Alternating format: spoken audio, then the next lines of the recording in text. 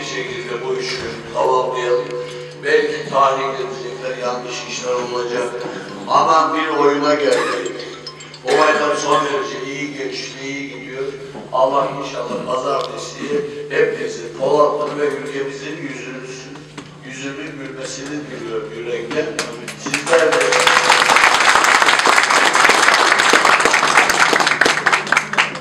bu üç günlük burayı hiç boş bırakmayalım. Lütfen psikolojik olarak gideceğimiz yerlere dolu dolu gidiyoruz.